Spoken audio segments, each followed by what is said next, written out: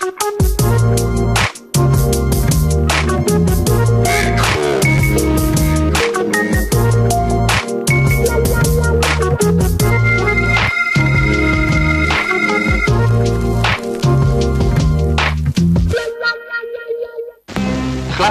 za chvíli bude po prázdninách a mnozí z vás si budou volit povolání pro život.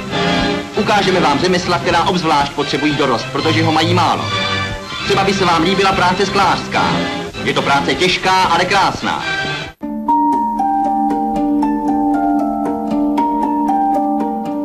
Říká se, není všechno zlato, co se třpití.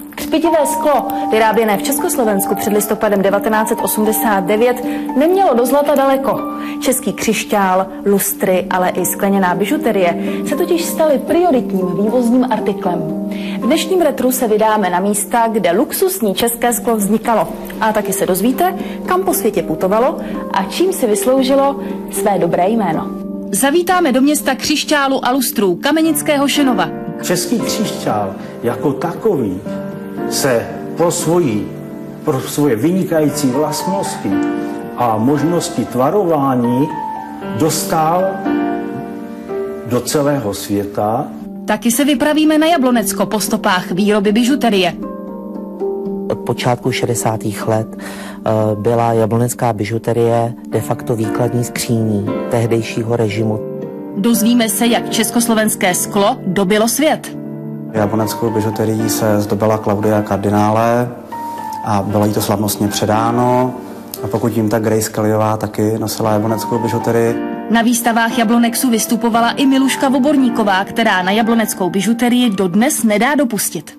Ona svou pestrostí skutečně skýtá, jako vejít se vždycky do toho, aby člověk byl dokonale sladěný s tím oděvem a s botičkama ze vším. České sklo, známé v celém světě, svou dobrou pověst nestratilo ani dnes. Je stále hledaným zbožím na cizích trzích a jistě jim i zůstane. Jsme ve sklárnách v Kamenickém Šenově. Ale to nejsou jediné naše sklárny v pohraničí, které vyrábějí hodnotné umělecké sklo. Nemusíme si zapírat, že značná část sklářů byla německé národnosti. Na jejich místo nastupují nyní čeští dělníci a umělci. Lustry z Kamenického Šenova dodnes zdobí nejednu domácnost, ale chlubit se jimi může třeba i známý obchodní dům GUM v Moskvě. V čem byly tyto výrobky výjimečné a proč jsou populární dodnes, zjistila Aneta Vojtichová.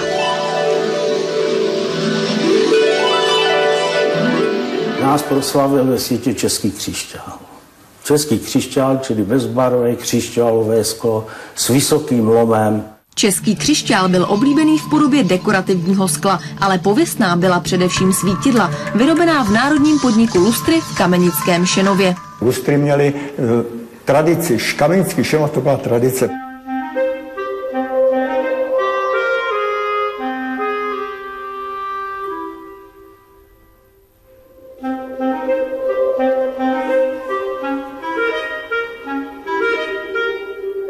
V těch 60. letech se nejvíc, v prvé řadě nejvíce dbalo na to, aby se dělala výroba tomu pro domácnosti. To byly takový ty menší svítidla do bytů. A nejvíc to šlo právě e, do Sovětského svazu tenkrát, že jo, tam šla prakticky tři čtvrtě výroby. Pak ta čtvrtina byly právě některé ty akce, které se byly, jak my říkáme, vybavovací.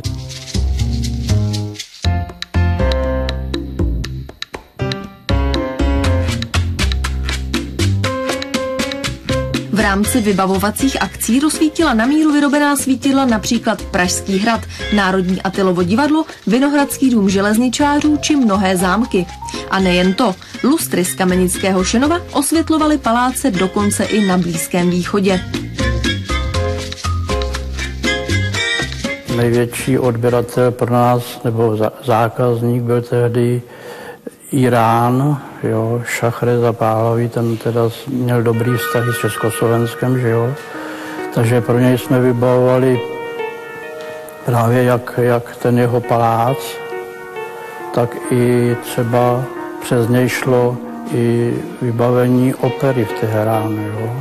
Saudské Arabie pro saudského krále že vlastně největší svítidlo, který se tam dělalo, to který mělo 500 světel, že 30 metrických centů, mělo rozměry jako dno lodi, elipsa to byla, byla to, bylo to délka asi 12 metrů, že? Významnou akcí do arabských zemí byla vybávačka, velká vybávačka do Meky.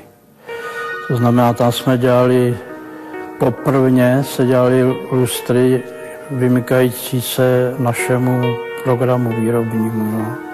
Tam byli skutečně s architektem, se zákazníkem se museli probírat každý detail na tom lustru, který prostě musel být arabský.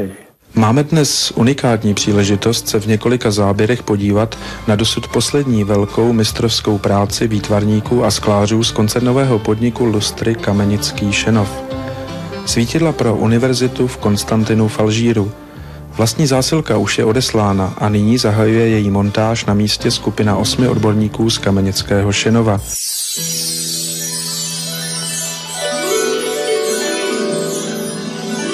Době, kdy se vyráběl, ať už to bylo Bulharsko, ať to byly tyhle ty státy, všechny špičkový, obrovský svítila, že jsou to vždycky jedinečný kusy. To znamená, je to rozdíl od uh, sérové výroby. Do nových moderně zařízených bytů patří také pěkná osvětlovací tělesa.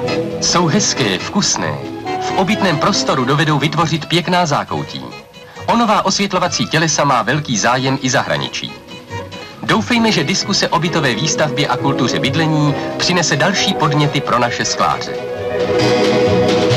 Nejoblíbenější byly svítidla z tzv. lisovaných destiček, desek skleněných. Ty se teda prodávaly hodně, nebo byly hodně na, na obchodech. Jo. Pak svítidla z drobných koulíček, tzv. koulíčkový svítidla.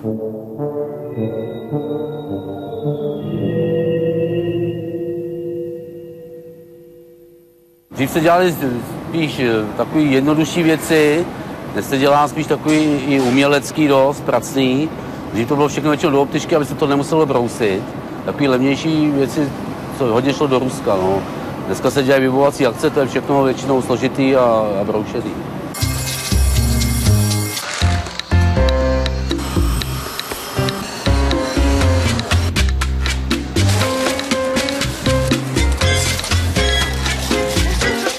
Traduje se, že skláři měli oproti jiným profesím jednu zvláštní výsadu.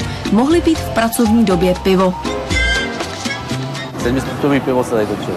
Někdy se spletli pivovarou, tak to tady bylo hned poznat. No. Krásný sklo má snad větší cenu jako stříbro. Například, bratře, ty jsi znal paní Chvojkovou. Tam vždycky vyplavovala, jo, když já jsem sloužila a měli jsme páni jako náštěvu, tak jsme všecko servírovali z, ve skle. 112 krajinách zvyšuje pôva žien a niekde aj mužov jablonecká bižutéria. Prostě na celom světě, v Európe, Ázii, Afrike, Austrálii i v Amerike. To jsme si znovu uvědomili na třetí celoštátné výstave bižutérie v Jablonci nad Nisou. Když jsem byla malá, mladá, tak jsem měla bižuterie docela dost. No a máte ji tady v té Mám krabičce? krabici zbytek, protože mě o ní obrala dcera.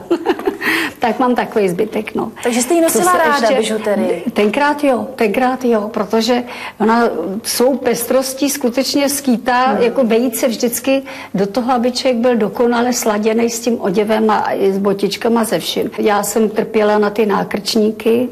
Takové ty obojky? Ty obojky, to se mi líbilo. A tohle to jsem měla hrozně ráda, to bylo efektní. Hrozně. A to jste nosila jednak teda? To jsem nosila hlavně v semaforu, nebo když jsme natáčeli ty návštěvní dny a besídky zvláštní školy a takový HOP 2-3, A2-3. A stalo se někdy, že se vám ty náušnice nebo třeba ty korálky někde roztrhly, něco spadlo, někde vás to obnažilo?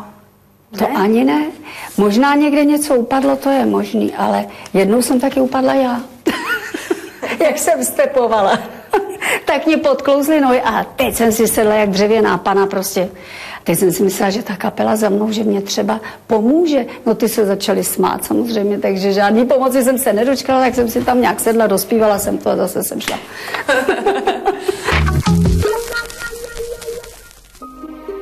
Dalším klenotem československého průmyslu byla bižuterie. Krásné náhrdelníky, náramky nebo náušnice.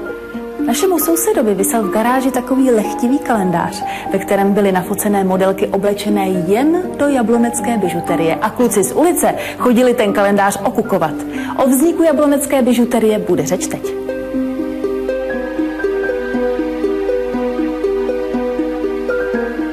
Začátek 50. let je příšerný, protože to se propaguje, aby se nosily tepláky, že tady vůbec není potřeba, není potřeba se vonět, když to trošku přeženu. Je to spotřební zboží západního střihu a to na ženu východního bloku vůbec jako nepatří. Ty výrobní podniky, které byly budovány někdy v těch 50. letech, tak jsou všechny budovány tak, aby z výroby skla se daly předělat na, na těžký průmysl. 60. léta už se nesou ve znamení rozvoje lehkého průmyslu, což sebou nese i modernizaci a výstavbu sklářských provozů. To se nakonec ukazuje jako dobrý krok. Jsme na mezinárodní výstavě bižutérie v Jablonci.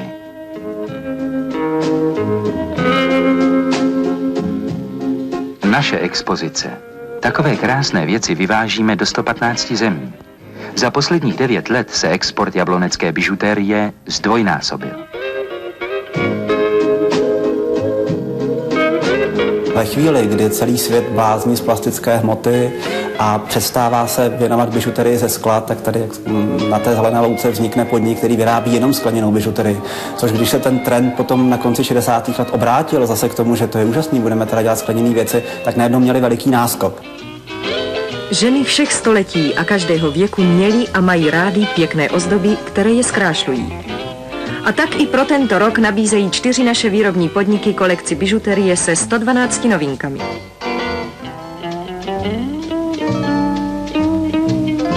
Šlágrem sezony bude bižuterie Valentina. První věnovali kozmonautce Nikolajevové Těreškovové. Tohle je, řekl bych, naše úplná specialita. Jedná se o kombinované barvy, speciálně proužky. E, pokud mě je známo, tak e, nikdo na světě z našich konkurentů tohleto nevyrábí a neumí to. Nebo aspoň ne v takovém měřítku, jako to vyrábíme my. Dneska už ruční výroba bižuterie dožívá, ale tady se ještě vyrábí po staru.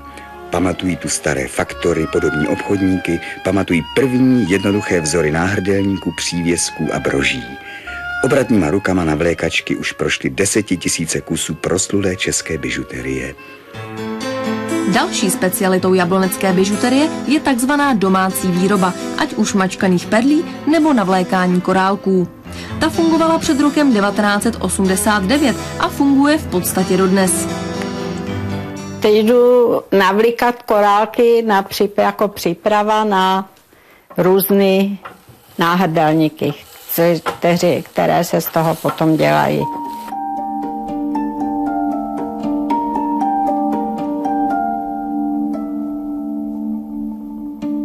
Národní podniky měly takzvané výdejny domácí práce, které rozvážely a zase svážely hotové zboží. A vlastně tehle ten systém tady, i když byly snahy o to ho omezit, tak vlastně nikdy nevymizel a vlastně po roce 89 se znovu zpátky rozrostl. Každá měla kárku tady s dvouma kolama tako a jezdilo se s tím do podniku. Proto pro práto dali v pytli papírový, protože no a doma jste co, no pak jste to tam zase musela odvíct.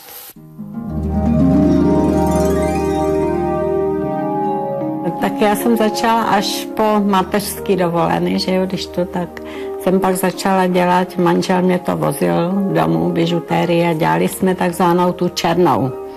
To se rovnalo na talíře, azbestový a moukový, i černá kaše taková, do toho se zapichovaly ty kotliky, spajkovalo se to a pak se to letovalo. No. Tak já jsem to vždycky přes den narovnala, no a manžel, když přišel z práce domů večer, tak mě to pak vždycky na, po sobotách a nedělích letoval. No, musíte se na, naučit držet ty jehly v ruce, aby se vám to nescuchalo, že? A umět šlapat. Miluško, jako známá herečka a zpěvačka, měla jste někdy šaty, které byly vyrobené z bižuterie? No, no tak úplně celý ne, ale prokládaný třeba korálkama, takhle jako od prsou po sukni, to jsem měla, nebo nějaký třásně, nebo prostě, já nevím, náramky, tohle. A měla jsem taky plechový šaty. To sice není úplně bižuterie, to je hliník, to je pravda, ale e, bylo to velmi zvláštní. To mě vyrobil na zakázku Jan Schläger. Právě pro výstaviště Jablonecké, pro jednu takovou hru krásnou, co jsme tam měli. To se jmenovalo Černobílá reví. Byla to hra s černým divadlem. A tady máme i fotky. Máme tady fotky. Na každou písničku jsem tam měla jiný, jiný ty šaty. A právě tohle to je to, co jsem říkala, že to je mezi podprsenkou a sukní, mm-hmm. tak to mhm. jsou takový ty korálečky. To arabský. Měli jenom no, ty no, vršky no. a pak jo. tu sukničku a mezi tím spousty rukávky. korálků. Ano. Hmm. Tady máte další. Tady zase je myšáček a to, to jsem měla jenom černý trikot a na tom byla právě aplikace korálků. To jsem si tenkrát takže ještě to mohla... vypadalo, že jste pod tím nahá. No, takže to vypadalo, že tančí jenom ty korálky, jako v té choreografii po Gounově. A no, a tohleto, tohleto je ten hliník. To jsou ty plechové to jsou šaty. ty plechové šaty spojovaný drátkama. A já vždycky, protože bylo vedro, bylo krásně, slunce svítilo, takže já pod tím byla úplně černá vždycky, prostě pod tím hliníkem, že chrastilo to tenkrát, žádný playbacky nebyly, takže se zpívalo živě. Do toho chrastili šaty, tak to jsem jako chodila po tom molu, tam pro ty marekýny dost jako prkeně, aby to právě moc jako nerušilo e, pěvecký výkon.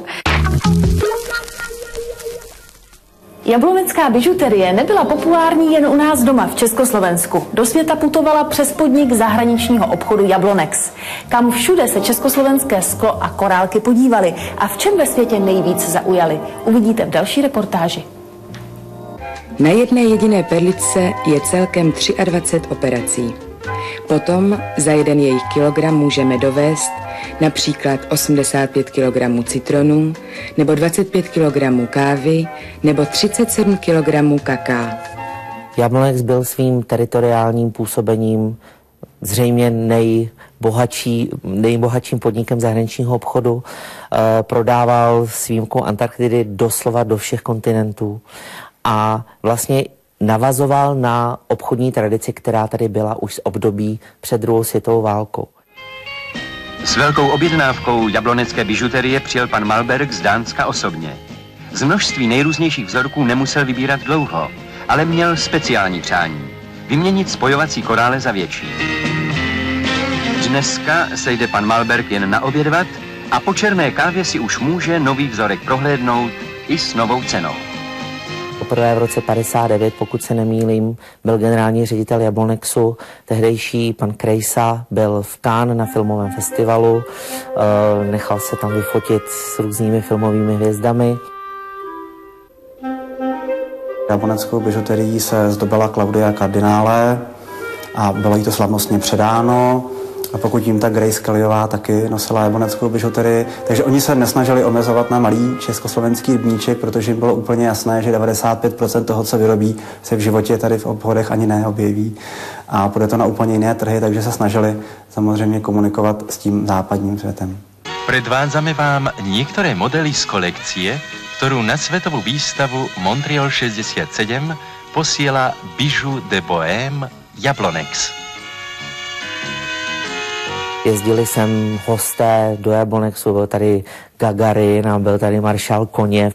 Většinou to bylo soudruh Koněv si prohlíží novou kolekci pro sovětský svaz. Nebo první kosmonaut Gagarin obdivuje náhrdelníky ze štrasu, které budou zdobit sovětské ženy.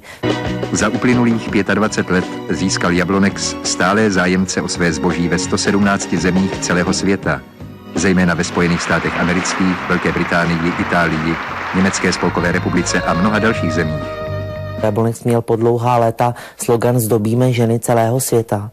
A ono to do určité míry tak bylo. Jablonecká bižuterie má v podstatě dva takové velké segmenty. Jedna je hotová bižuterie, která se většinou exportuje na rozvinutější trhy a právě na ty rozvojové trhy, exotické země, Afrika, kdysi Ázie myslím hlavně Indii, tam se vozily polotovary a teprve na tom místě se zpracovávaly. Často se stávalo, někdy se to stalo i nám, že se nám uh, přátelé, kamarádi pochlubili, uh, co si dovezli ze zahraničí, indiánskou čelenku nebo nějaký suvenýr, masku polepenou perličkami a třeba vůbec netušili, že ty perličky vykonaly tu cestu z Jablonce až do Mexika a zpátky. Jedna z typických barev je speciálně tato plahově zelená. I v tomto, řekl bych, sortimentu, v této velikosti je to typické pro nepálského zákazníka. Víc než 90% jablonské produkce šlo na export, to znamená, na místním trhu se toho teda bohužel příliš neobjevilo. Většinou se v té době vyvážel do Sovětského svazu. To byl hlavní, hlavní odběratel tyhle ty bižutérie. Že? Moskva. Zájem o československou výstavu skla roste den ze dne. Před budovou je každý den ráno už dvě hodiny před otevřením nedohledná fronta Moskvanů. Právě Sovětský svaz umožňoval jabloneckým výrobcům vyrábět v hluchých dobách. Protože Sovětský svaz toho jednak bral obrovskou spoustu. A jednak tam ta sezóna příliš nehrála roli. To znamená, když se zrovna nevyrábělo pro někoho jiného, tak se mohlo vyrábět pro Sovětský svaz. Velký bratr nám výměnou za bižuterii poskytl plyn, ropu nebo železnou rudu.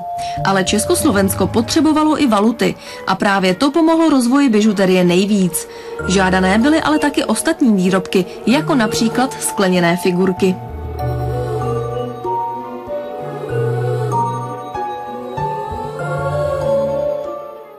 Jsem průvodcovala, tak tyhle figurky, to byl strašný šlágr, to chtěli Němci od nás, takže se to nakupovalo se ve velkém a Němci samozřejmě za přidaný bakšiš k tomu a hlavně hard value se prodávalo, že jo, to byl bezvadný biznis. Dělnická profese v bižuterii se vydělává na úrovni lékaře. A těžili z toho i další profese. Pracovat pro Jablonex bylo velkou prestiží, které si tehdy užívali kromě jiných, zejména modelky.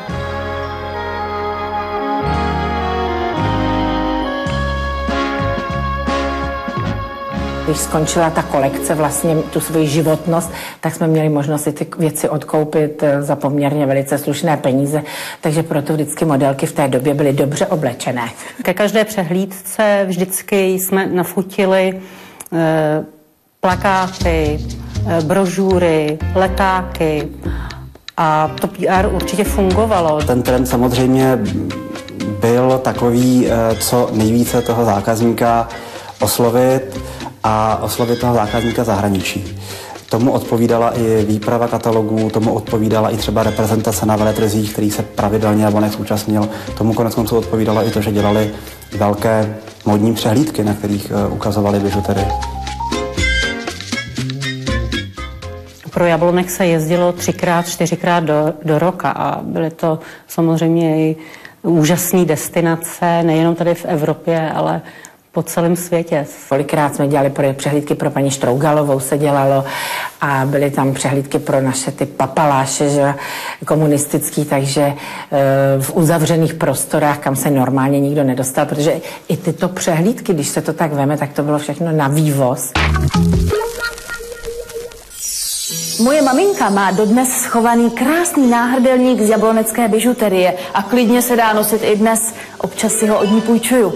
A co vy? Nosili jste jabloneckou bižuterii před listopadem 1989 a líbí se vám české broušené sklo?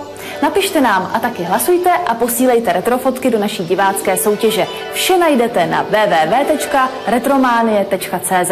Mějte se hezky a za týden na viděnou na věky chraň. A říkal vážně lásku.